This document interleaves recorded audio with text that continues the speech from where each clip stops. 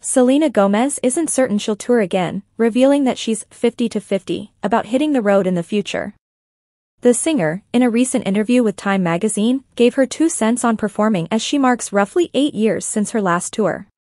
Nothing makes me happier than 90 minutes of being with my fans and just celebrating together, she said. It is very emotionally draining for me. And then you realize you're just surrounded by a bunch of people that you're paying. Gomez cancelled her revival tour, which made stops in North America, Asia, Australia and New Zealand, in 2016 after experiencing anxiety and depression as a result of lupus, an autoimmune disease. The singer, who has been open about managing her lupus over the years, had also cancelled dates on her Stars Dance tour, explaining later that the decision was due to her dealing with side effects from the disease. Gomez, one of the stars of Hulu's Only Murders in the Building, suggested that she may step aside from her music career in an interview on the SmartLess podcast earlier this year.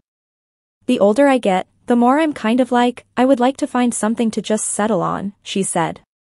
I do feel like I have one more album in me, but I would probably choose acting. She told hosts Will Arnett, Jason Bateman and Sean Hayes that she's going to want to chill at some point in her career because she's tired. I wanted to be an actress, I never really intended on being a singer full-time, but apparently that hobby turned into something else, she said. I don't think I'm the best singer, but I do know how to tell stories and I love being able to make songs.